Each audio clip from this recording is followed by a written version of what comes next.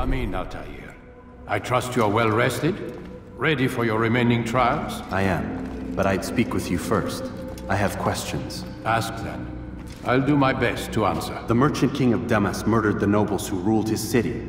Majd in Jerusalem used fear to force his people into submission. I suspect William meant to murder Richard and hold Acre with his troops.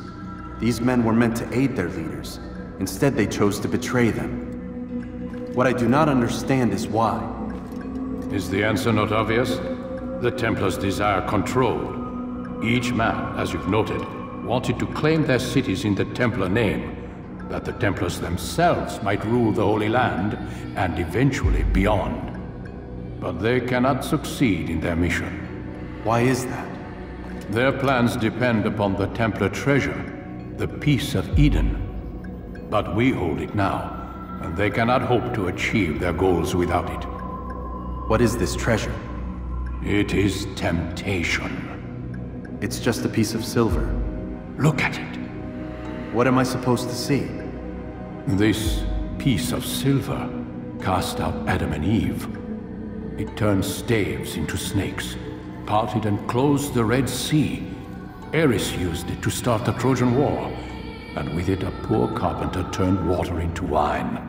It seems rather plain for all the power you claim it has. How does it work? He who holds it commands the hearts and minds of whoever looks upon it. Whoever tastes of it, as they say. Then Garnier's men? An experiment. Herbs used to simulate its effects, to be ready for when they held it.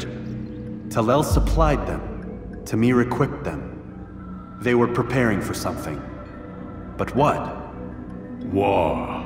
And the others, the men who ruled the cities, they meant to gather up their people, make them like Garnier's men. The perfect citizens, the perfect soldiers, a perfect world. Robert de Sable must never have this back. So long as he and his brothers live, they will try. Then they must be destroyed. Which is what I've had you doing. There are two more Templars who require your attention. One in Acre known as Sibrand, one in Damas called Jubair. Visit with the Bureau leaders. They'll instruct you further. As you wish. Be quick about it. No doubt Robert de Sable is made nervous by our continued success. His remaining followers will do their best to expose you. They know you come, the man in the white hood. They'll be looking for you. They won't find me. I'm but a blade in the crowd. Here, my gift to you, in gratitude for the good work you've done.